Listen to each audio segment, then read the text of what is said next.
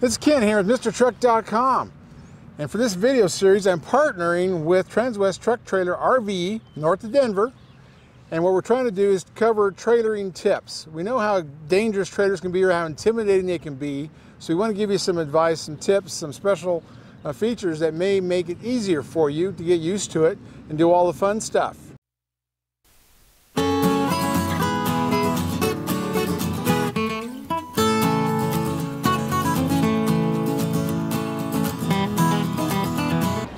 It's Kent with MrTruck.com. We partnered up with Transwest Truck Trailer RV north of Denver to bring you trailering tips. It's all about, you know, the tow rig, the trailer, and what you need to make it all work well so you're not nervous about it and you're safe. So today I've got CJ. All right, Kent. Good. he works here at, at uh, Transwest here in the horse trailer department. And we're going to hook up this bumper pull first and show you a few things about that.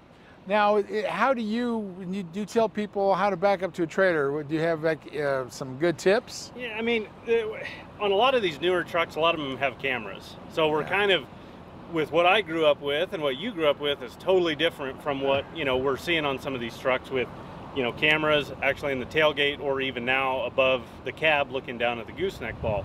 Um, one of the very first things I always, uh, you know, recommend to customers is, is try to pull forward as far as you can to get you a good straight shot at it. Um, yeah. You know, you know, sitting square in the seat, not moving a whole lot, looking down your mirrors. If the trailer kind of looks even on each side, more than likely you're pretty dang close to middle. Uh, but by starting out at a good square spot to the, the trailer itself is always a good starting point, in my opinion. Yeah, yeah, that makes sense. That's that's how I've always done it over the years, you know. So I'm getting used to the newfangled uh, devices they have. Like in my trucker, we're going to show that couple of different brands have a little knob you turn and it turns the opposite way I'm used to turning, so it's different, but I understand it, and we're gonna go through that and explain that. Well, let's hook this up, and then we'll talk more about chains and all these other things that we need to do. Sounds good. Okay.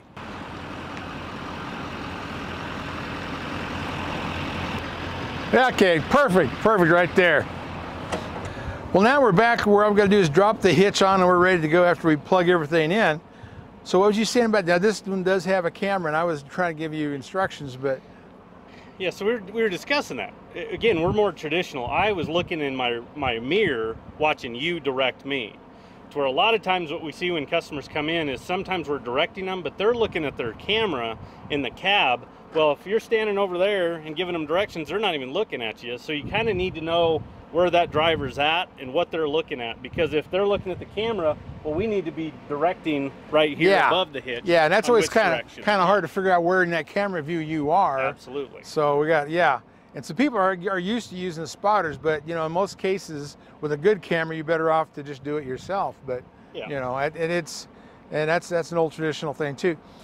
So to hook this up, all we got to do is drop the jack onto the coupler, and then we make sure that latched, and this does have a, a a safety pin, which I like for yes, making sure that that Bulldog is latched. So go ahead and latch it up and yeah. we'll show all your skills here. So what's the pink ribbon for? So the, the, pink ribbon here just means that this trailer has been completely through our service department. Even though it's a brand new trailer, you know, we go ahead and PDI these trailers as they come in. Um, just, you know, on this one here, we're not doing alignment because it's that big, but we will put it on a biz machine the technicians go through the whole trailer. We, we spend two and a half hours of the technician going through it. And then this means it's been completely through the shop and it's oh, good to go for the customer. Well, that's awesome. It's good to have a, have a plan. Okay, that's good. Now, the, um, all these newer trailers have a 7 RV plug. Correct. So we're not into six plugs anymore, but yeah. And that's a good idea. You run the jack all the way up, and I'll talk about that with the chains in a little bit here. And but, with that, you know, this one has a foot. So we always have to keep an eye on it. You know, this one here, this jack gets up high enough, I'd be comfortable with sending them down the road with the jack, you know, where it's at in, in a running, you know, position going down the road. Now, if it would to hang lower or it was a wheel that it hangs lower, then I might be removing that throat and the tack because I just don't want it hanging too low. Well, sure, and that's an important issue when it comes to safety chains and what's going to happen. But yeah, go ahead and fit and yep. hook the coupler up. So there's a couple different ways. I do the old traditional. I just kick it with my foot. Oh, the Karate Kid. Yeah. Here and then you just put your pin completely through there and then that way it can't come up. Cool. And then the plug, the plug's pretty simple, pretty standard. how all these work. You just want to make sure they've got a clip. They got a clip, and that's kind of what holds it in. And then, I'll be darned, this is kind of weird. The door's upside down. Some of these are right side up or upside up, or upside down. And there's that part that you're going to contact, which means you've got to turn the plug over to make sure that that little ear hits the clip in the door. So there it is all. That's the way to plug it in. I like them better when the door is on top because I think that, that little net niche on top yeah. holds it in better. This allows it to move down and Ford was doing that. They go back and forth. I didn't know GMC was doing this. But anyway, that's that part of it. And on that, you know, typically what we see, Kent, too, is I can usually tell when a customer comes to pick up a trailer if they live on a dirt road or not. when I open, especially on the bumper pulls, um, or where the, the actual plug is on the bumper itself, I can open up that door, and if it's really dusty, we might have a contact issue. So we might have to clean that plug. You know, we're not getting the contact we need right. to run brake lights or turn signals or running lights. So um, we usually like to assess that. Usually you can just spray something on there, plug it in a couple times and it'll clean it, get that connection we need. We see it most times on the bumpers uh, plugs rather than the in beds, but I yeah. can usually tell if you live on a dirt road. Yeah, I'm, I've got a mile of dirt road. Yep. It's amazing how dirty that gets. Yes. But do you use that dielectric grease on any of these yeah, after you clean them? Or? Yeah, you don't want to use, I mean, I've heard of some people use WD-40. The problem is if you overdo those type of products, it will eventually collect dust as well. It'll yeah. kind of get a little bit more gummy. So yeah. those type of cleaners you need to kind of look at. It doesn't take much. It's just yeah. a little bit of spray and then plugging it in and out a couple times. We'll clean it and then we can get our contact we need. Well, that's true. And then it's always important to check the lights and we'll do that, check and make sure they all work. And then let's see, we got the breakaway. Oh geez, yeah, there's your, you got everything tied up on this because it's being ready to sell. But uh, and then, and you you cross the chains? If I have enough chain length, absolutely. Yeah. I will always try to cross them if I have the length. Now, yeah. if I don't, then we need to just go straight into the truck from that standpoint. Yeah, yeah. And this has got the cable for the breakaway, and usually you loop that either over the chain or over the the other part. Well, let's see if there's enough room. I know General Motors are not hard to hook up, if I can even see them. And see that hitch hanging down? Yeah, that's not this, the best way. Yeah, that's a seven inch drop there on that hitch. So I wouldn't be very comfortable with that. Um, just the potential of turning, and as you turn, the truck and trailer go in different directions, which is going to stretch that chain, and that has the potential of getting kind of tied up in there, and that's not right. And on this hitch, because it looks like it's a straight in there, you could just flip it upside down. Correct. You, as long as it doesn't hit the tailgate. That's what I do too. Well, the reason I want to show at least the chains cross at the beginning, and that's that's a problem too, is we all need longer chains now for a lot of reasons, for length of hitches, and it's a common thing. But and we've got you know the breakaway cable you always want to hook up, and then you guys have those really cool ones that are the red expandable cables. Yeah, and our Cimarron trailers they come with that. Oh, that, what's it that red cable that will expand and contract on. It's kind of almost yeah. like a slinky, is what yeah, it is. Yeah, it's great. Well, the reason I want to talk about the chains being crossed is, and this can happen to you. I hauled a trailer out of Kansas once in a rainstorm, and I was sure that I had a couple that were latched, but something happened. It popped up, and I looked in my mirrors, and the trailer was kind of swinging all over. So I thought, oh, I know something's wrong. So I hit the brake controller by itself, not the foot brake, but just the brake controller. And That brought the trailer in line so I could control it, not hit the tailgate. And then I pulled over using that brake controller uh, on, the, on the below the dash and looked back there and that's all it was is something came unhooked. But because I crossed the chains and had the jack all the way up if I would have had the jack down part way would have broke the jack yeah. and I wouldn't have been able to connect again. So the trailer fell into the chain the, the, the cross chain and I was able to get the jack down jack it back up hook it all up and go with no damage but that's why you want to cross the chains, and that's why and, you know people, some people, especially on goosenecks, don't think safety chains are necessary. That's your line of defense. You know, if you come something comes unhooked, gooseneck, whatever it is, the ch the chains will grab you and hold you so you can get under control. And if they break, and then that's when the breakaway comes in and locks the brake up on a trailer for I don't know how long it is. If it's a minute or it's not very long, just enough time so you can run out and get that rock, put it behind the tire because yeah. you're probably out in traffic somewhere. But uh, yeah, this is good. This is a good way to do it. I like the way we did this. So should we check the, the trailer lights now? Yeah. Okay, I'll go down the back.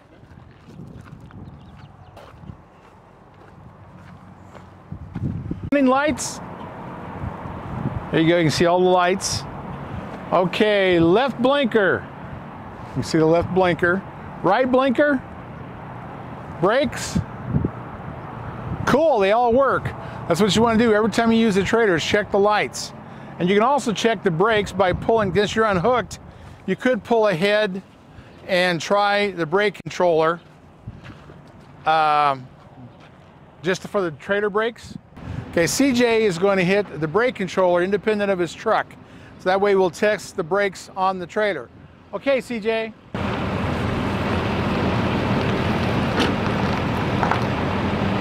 Now, we didn't lock them up, but you can see that the trailer brakes are working. You can hear them, and you can see that the tires rotate and they don't keep rolling. So there's resistance there. Okay, here's the brake controller. On this particular year, GMC, they're on the left side. They've now moved to the right side where I've complained about for a couple decades. But anyway, people get used to where that. This is one you can see real easily. And you got the manual control on top. Then you got the gain setting, plus and minus on the bottom. So that's all you do. And you need to know that in emergency. If you're going around a curve in mountains and snow and ice, a lot of times I just use that trailer brake controller and that controls it. That straightens out the snake. And if you get on the freeway, somebody crowds you and your trailer starts swaying, you grab the brake controller. You don't touch your foot brake because you want to, to, to straighten it out. And that works. That'll save your life. But on this, this brand new trailer, so the brakes aren't burnished. Now, we'll talk about burnishing the brakes because when they come new, you know, disc brakes don't need anything. They'll grab all the time right off the bat. When you're talking about drum electric brakes, they don't quite fit the round part of the shoe, of the actual drum. The shoes don't fit the drum. So you've got to break them enough so that that round part matches. Then you have super brakes, the kind you want. So when you start off to burnish them, now you were, you were telling me, how do you tell customers to burnish the brakes? We'll always check to make sure brakes are engaging before they leave here. And obviously we try to, you know, set the gain as to where we can feel the brake grab, but it's not a real harsh throwing you or your animals into the wall or something like that. Um, then at that point, we know that on these newer trailers, as they use the brakes and they warm up, like you're saying, you know, they're gonna start grabbing and seating a little bit more. So then they might have to adjust their brake controller based on that. Now, obviously, when they leave here, they're usually empty. So we don't have four or five head of horses on there with all their tack. Right. So then when we throw all that in the mix, the weight's gone up. So maybe then they're gonna have to adjust you know, the brakes again at that point. Yeah. Now there is a special way of doing it. I forgot the numbers, but there's a way of doing it so many seconds, so many minutes and release and all that. But the way I do it is when it's a brand new trailer, I turn the gain way up and that gives me more brake pressure and I'll run it that way for a few different trips. And then after I've done that and I can tell the brakes are getting, you know, tighter and tighter, then I back the gain back down. I mean, I might start off at a 10 or an 8 and then I'll end up basically being a 5 or a 6 gain. So what, what gain do you usually use on a trade? I guess there's a difference between one that's new and one that's used. Correct, yeah. You know, for the most part, my personal truck, I mean, between my demo trailer, or if I'm running and grabbing something or hauling it to a customer, I'm usually running between about that six, six and a half. And again, I'm usually empty. yeah, yeah. And there's a difference between empty and loaded. On some of my trailers, and an OEM, I use some other brake controllers that work to adjust itself, but a lot of times you'll have to back the gain off a little bit on the empty trailer so you don't lock the brakes up and leave a bald spot on your tire. But yeah, well, that's cool. Well, now let's talk about this trailer you're towing around here. Yeah. And Bullseye? Yeah, this is a newer model that Logan's come out with the last couple years, and it has really been popular. Uh, it's a really good price point. It's a well-equipped trailer. Um, it kind of fits that kind of nice middle of the road. Um, maybe you don't want to jump into the high-end Cimarron trailer that we offer as well, but this is a really hot seller in a gooseneck and a bumper pull. We sell a bunch of them. Cool, and these are still the galvanized frame and some aluminum, some steel siding? Yeah, the galvanized steel frame with aluminum body. Uh, so we're gaining that strength of that steel frame, but we don't have the rust issues that we would if it was black steel. Uh, and then the aluminum gives it a nice sleek finish look, and then it also lightens up the trailer a little bit. Oh, sure. Those look like new drop downs. I haven't seen those in a while. Those are pretty cool. Yeah, on the Bullseyes, you get heavy duty drop down windows rather than a prefab window. And then also on your tack door, same thing, heavy duty made at the factory. Well, that's good. So they they keep improving. Yep. That's a pretty nice drop down. And then you got that, I like that Logan Coach netting there to keep the flies out. That's right. So that is so cool. But yeah, two axles. made for two horses, and then is a tack at the back or the front? It's a front tack room. Uh, in this model, you can do in the bumper pulls, you can do a two or three horse. You can do a stock option as well, and they've just come out with an extra tall two horse straight load option. Uh, and then in the goosenecks, we can do that combo version, three, four horse, and then again a two horse straight load in it. Okay. Well, let's tell people how they can contact you so they can call you, email you, whatever they need to do to find out more about you know what you have. Absolutely. If you want to look at our inventory, you can go to transwest.com and then just click horse trailer inventory. If you want to give us a call, anybody on the sales team can help you out. That number is 303 684 3400. Cool. They got a great website. Well, now let's go play with the gooseneck. Yep. okay.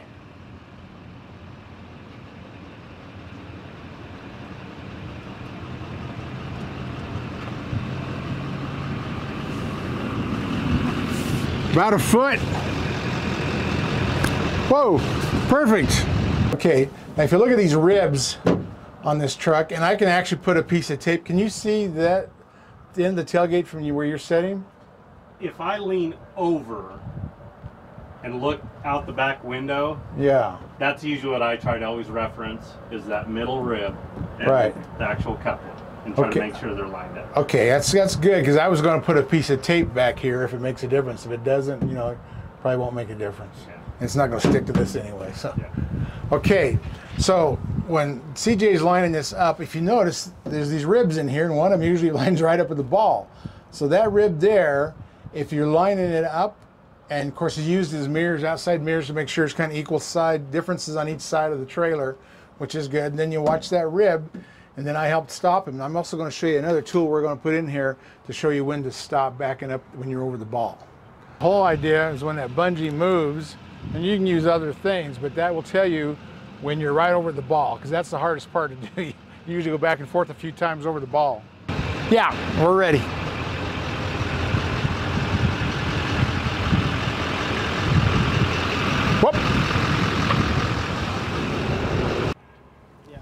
We grew up in the in the new modern era, and I love cameras. But cameras put a lot of companies out of business that made all these gadgets. Yes. So here we are with cameras. So does this have a camera for the gooseneck? This one does not. Does it's not. only got it on the tailgate here. Okay. Well, that's that's the coolest stuff that they have. I mean, the GM is like I call them the king of cameras. They have like hundred cameras. They got them in the mirror to where you can back up and it'll show up on your screen what the camera underneath the mirror shows, and you can see for yards. Yes. It's so neat. I mean, safety has really improved on these trailers from my day. But what other what other things you want to tell us about this before you start hooking up chains? Yeah, a couple of things that I, I mean, I always like on with this being a long box. I mean, I run a short box pickup, but I've also run it with a toolbox on top, so I can't see that magic middle rib on mine. Yeah. But if you can, that's a great starting point because we know that we're lined up with the, the trailer. Again, having a good straight shot at it, it's one of the best things you can do. If you have a spotter, the most important thing is you got to be able to see the spotter. Spotter's got to be able to see you in the mirror. Yes. And then again, knowing your hand signals, right, left, and then as you're approaching that ball, I mean, you, I saw you doing it. That's exactly how I grew up doing it. Is this is how far you are to the ball, and as we get there, that's where we need to stop. Yeah, yeah. And and one of the biggest things is is also taking your time and going slow. Yeah. I never want to see anybody really, you know, in a rush and really getting that truck back there in a hurry. It's really, really taking your time. Um, there's also a couple little tricks that I've seen. I've seen a pool noodle. I've seen somebody actually cut a pool noodle yeah. and stick it on the ball. Yeah. And as yeah. you get over it, it'll fold that pool noodle over. Oh yeah, that's And then you cool. grab the pool noodle, noodle and pop it off the ball. Um, on my personal truck, I actually have extended my middle headrest in the back and I can see the bars. Oh. Now, there is a trick to it. You have to be sitting square in your seat. Again, not moving a lot. If you're leaned over one way or the other, it's going to throw you off. But if you sit square in your seat and you're looking in your rear view mirror, I try to line the coupler of the gooseneck up with those two bars with my headrest. And if it's center in there, again, I know I'm center with the, the truck and the trailer itself. Well, so there's a bunch of, I mean, everybody's kind of got their own way to do it. Um, but those are kind of some little things that I've seen. Sure. Those are all cool, and I think you made a great point about going slow. Yeah. doesn't matter. Even if you're backing into a spot or whatever, you do everything slowly because you, you can turn your wheel and then you, you really got to wait for the trailer to move Yes. before you start making other maneuvers. Yeah. So a lot of people do that. They just start turning and going back and forth. By the time the trailer reacts, it's going the wrong way that they thought they were going. So no, I like that idea. Yeah, that's cool. Can you put a piece of that orange tape on your toolbox that comes down the middle? Yeah, you can you can do a line uh, on on the toolbox. You know, it always it's a little bit tougher because it's you know that diamond plate with the with the Oh. tread. So Yeah. you know, getting that tape to stick. But I've seen I've seen people put a piece of tape on their back window Oh yeah. if it's square in there, and again lining that with up with the coupler itself as they're backing up. Again, you have to be square in your seat and not Yeah. really moving. But that's another little trick. Yeah, and these crew cabs, you're a little further away from the window than the old days when I was driving single cabs. Yeah. Which always cool at visual raids. Well, let's hook this puppy up. Okay. So one of the first things that, that we do is, and, and a rule when I grew up was, hey, whoever is hooking up the trailer, just leave it to one person. Because we all get in a rush, we all get talking, we all get maybe distracted to where I think Kent's up there hooking up chains and hooking up the coupler, and he thinks I'm back here running the leg up and cranking the trailer down, and we just don't want to miss anything. So usually I kind of go in reverse order on how I unhook the trailer with how I go ahead and hook it up. So the very first thing is obviously we got to crank it down onto the truck.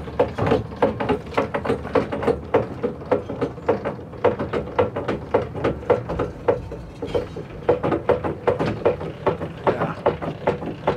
So on this trailer here with this Cimarron, now this is a manual jack. I can actually remove this. This doubles as a lug wrench, a nice little Oh, thing that, that cool. Cimarron gives us. And there's another thing that I really like about these Cimarrons is the 8.2 nose. They're a little bit longer. So with this being a long box, I still have room that I can get behind the tailgate and the trailer. A lot of times, other manufacturers, this tailgate will be right up against the, the spare tire. But I always go ahead and I put the handle away and then I put my jack up.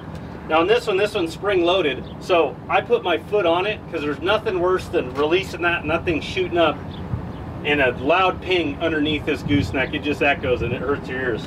So I put that away, and then I start working towards the, the, the truck itself.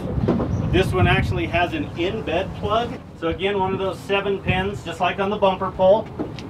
Kent, this one's actually the correct way. It's not upside I down. I know, I love it. I don't know why they put that. That's how they were for 20 years, but somebody got goofy Yeah. in engineering. So again, we want to make sure it's snug, and then that the actual you know cover goes over that lip like we want. And then from there, I go ahead and I hook up the actual gooseneck coupler. I hook up my chains. I'm gonna get rid of that battery disconnect here for one second as far as the breakaway. I'm gonna get my other chain hooked, and then I'm gonna hook it in there. Now sometimes you might have to get a little different carabiner. A little bit bigger carabiner on this one would work best Yeah. to get it to actually snap onto that. Um, And that's that fastway cable you were talking about. yeah, about. this one, oh, I Zoom in on really like cable. these because boy, Yeah. they get kind of out of the way, and then when you go to unhook it, you know, it's just not something else I got to worry about coiling up and hanging somewhere. Yeah, I've seen them on RV boxes, that, that big long bunch of cable that comes Yeah. with these trailers. Hook on that and it locks up your brakes, and you wonder what in the world's going on. Yeah, Now you don't cross your chains on a gooseneck, right? I don't. I never have. I don't I've- think anybody does, or that No. probably would be a dangerous thing. if- Exactly. yeah. And one thing that we, and I'm sure you can elaborate on this a little bit more with these new puck systems in these trucks. You know, we're seeing where we hook our safety chains farther back. Yeah. And to be honest with you, that's another thing we got to worry about this chain length. Again, we want some slack there. We don't want them too tight because when we turn, again, we're creating Yeah. that you- tension on those chains, and that's not Yeah. what we want. Right. So that's one thing that I've noticed is some people have come in with newer trucks with those puck systems. Yeah. And the other thing too is the actual snaps uh, that that actually connect because they're a little bit bulkier. There's kind of a sweet spot, or we might have to change those out for a bigger hook itself Yeah, that's true. in I've order to to fit that. on those puck systems. Yeah, I've had to put bigger hooks on some of those. Well, that's the thing. I wish manufacturers, and you have an inside voice with that, would put longer chains on the gooseneck, longer chains on the bumper pulls. We need those longer chains. Things are changing, and a lot of people use an adjustable hitch on the back, Yeah. and then they're longer again. Yep. And you know, just like you talked about the puck system, we need longer chains. So Yeah. yeah, that's awesome. So are we ready to go rock and roll? We're ready to go down the road.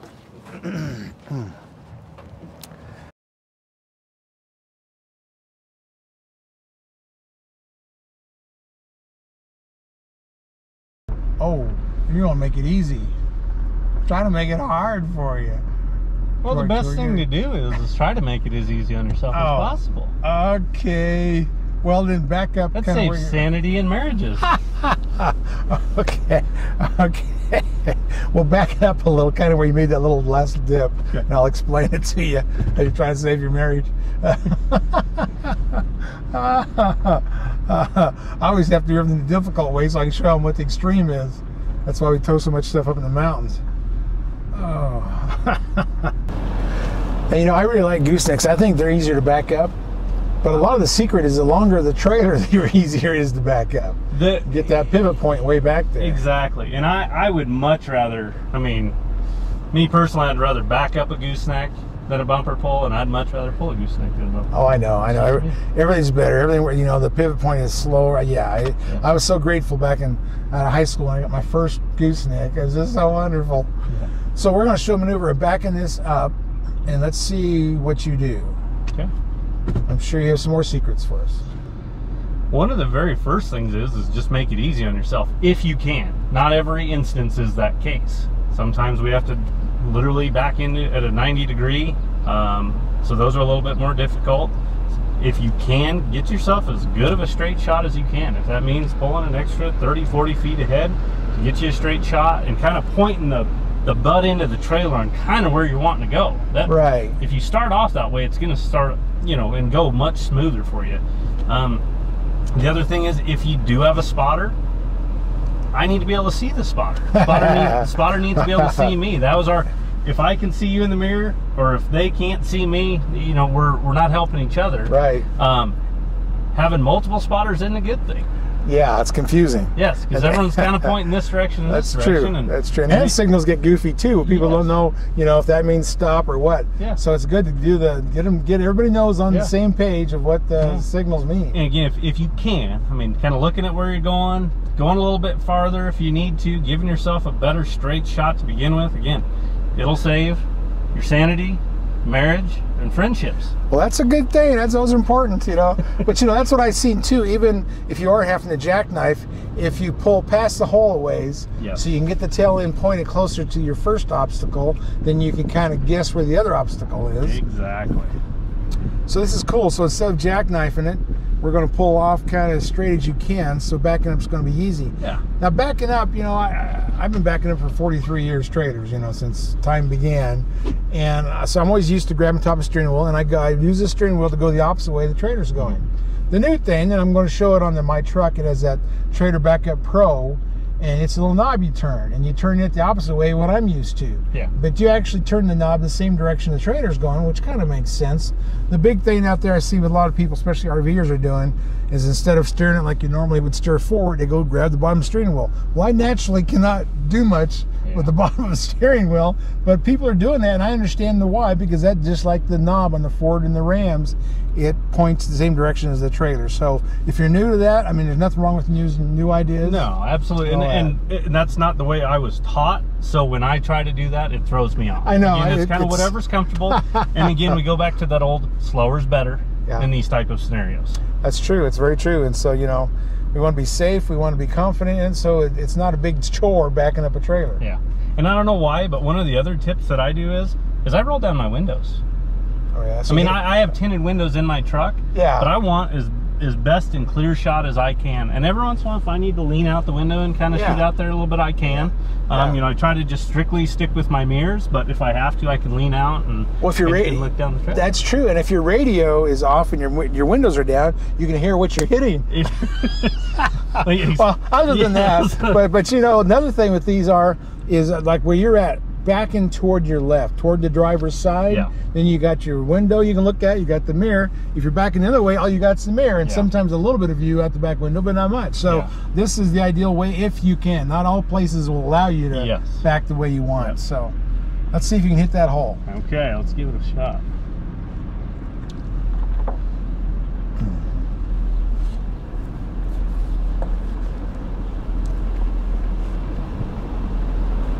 I've always been the type that I always keep my foot on the brake.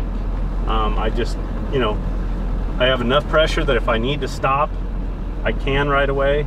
Uh, but that's just something that I've always just been more comfortable with in doing is just kind of keeping a little bit of pressure on the brake and just easing it back there. Again, slower is better in my opinion. That's a good idea, and that's much quicker than jumping your foot off and running, moving it over. That takes time too. yeah. Now the backup camera doesn't do a whole lot of good when there's a gooseneck on if you don't have the the um, camera up on top of the cab.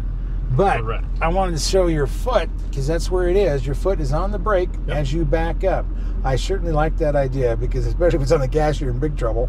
But even if it's on the floor, going from the floor to the brake pedal takes some time. Yep. And that's a safe way of doing it. I really appreciate that. Yeah, and there is one thing that I do on my truck with this backup camera. I mean, because I've got the one on my tailgate, but I don't have the one in the, you know, above the cab.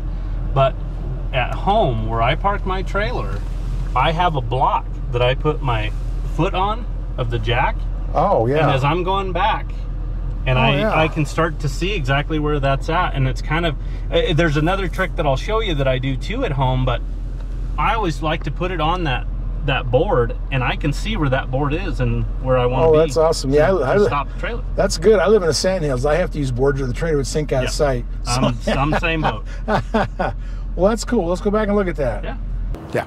So I was kind of mentioning to you that I like to put that block, and I run a two Yeah. by six, and you know it's about 18 inches long. And one of the other things that we tell people is, is whenever you're blocking these trailers, most of the time people want to block it this way across the trailer.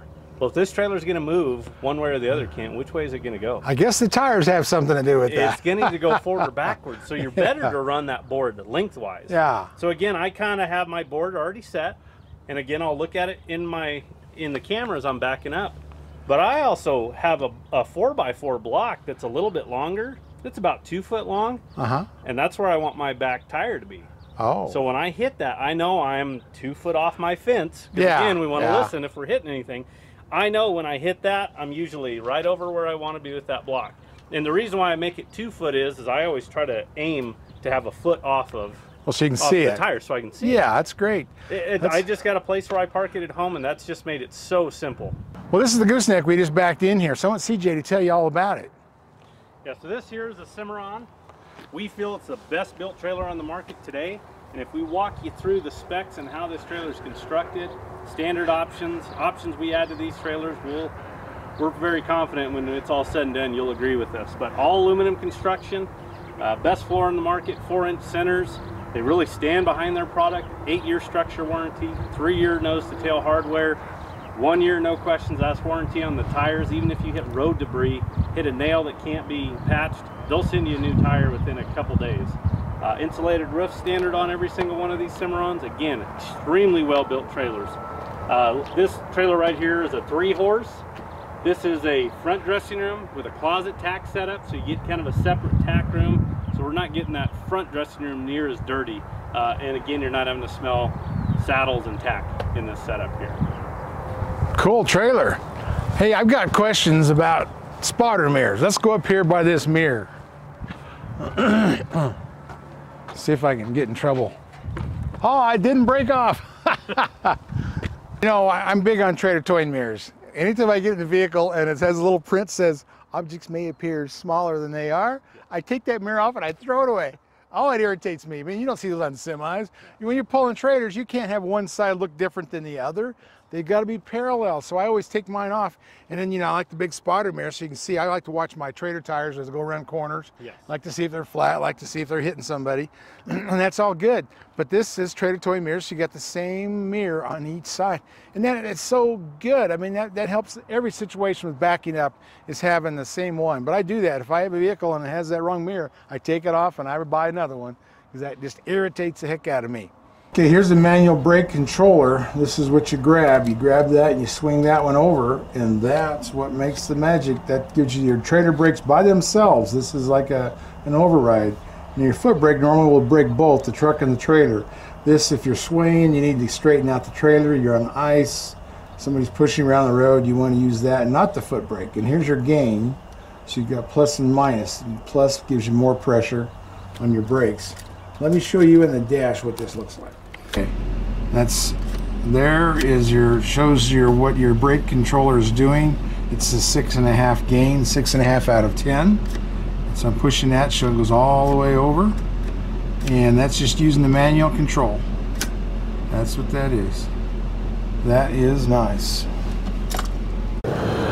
So to finish up this trailer review, I want to talk about the trailer backup assist. This is from Ford. It's called trailer backup assist, and it's that knob. And you twist that knob, and it'll steer your truck in reverse, and that knob goes the same direction your trailer. So it goes the same direction as the bottom of your steering wheel, which is a big new thing what everybody's doing. They want to steer at the bottom. Me, I'm still used to sticking with the top of the steering wheel. So I have to go, you know, I've been backing up reverse that way a long time, so I'm used to being up here.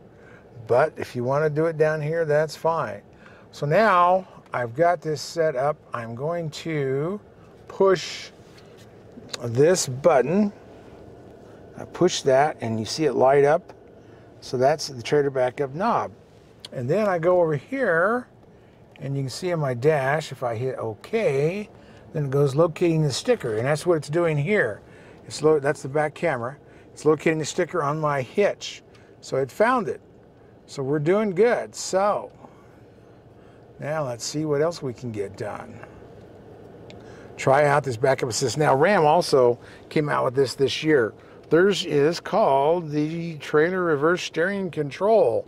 And even the TRX has it. It's uh, just in their 1500. The Ford does have this new, the backup assist on their Super Duties now, which is cool and does with a gooseneck. I got to try that out. But this is the two systems that will steer for you, and it's just nothing but the knob and your brake, and it'll move the trailer around. But I've got the backup system on, and so I've got it in reverse. So I will turn this knob, and you will see the steering wheel move too. So hopefully you can see the steering wheel and the knob, and once in a while look out the mirror, see where the trailer's going. Okay, I want to go to that. Yep, it's going that way. I want to go this way. It's going that way. Look at that steering wheel. Crazy steering wheel. It is so cool. Where's those rocks? oh, I love it. I love it. That is so cool. I'm not touching the steering wheel. I was doing is playing with that knob. And that really makes that steering wheel go nuts. And that's what you do. Slowly, you do that, and that knob steers the truck. And it steers it the same direction the back of the trailer's going. So for a lot of new people, that's going to be important that will help. For us old farts, we're too far gone. We can't. 43 years of towing, I can't change habits, but it, I understand the need for it and I understand how it's going to help people. So I think it's awesome. And right now it's the Ford and the Ram that have them, this backup assist system. These backup systems are, are, are cool, I understand them. Now, on the Ford, you have these checkerboard stickers, and I'll show you that that you put on the hitch and you measure it out 7 to 22 inches on the hitch and then you measure from the camera down to the center of that sticker you measure from the hitch to the center of the sticker and you measure from the back of the truck to the middle of the trailer tire the axles i know that sounds like that's four measurements but you only do that once and to each trailer you use and then you're done and i'm not sure the ram ones i've got to go play with but they don't have any stickers so i don't if they got different radar kind of thing but you know it's done mostly with cameras but uh, that'd be interesting to find out. I'll try to get a hold of one of those so you can see that.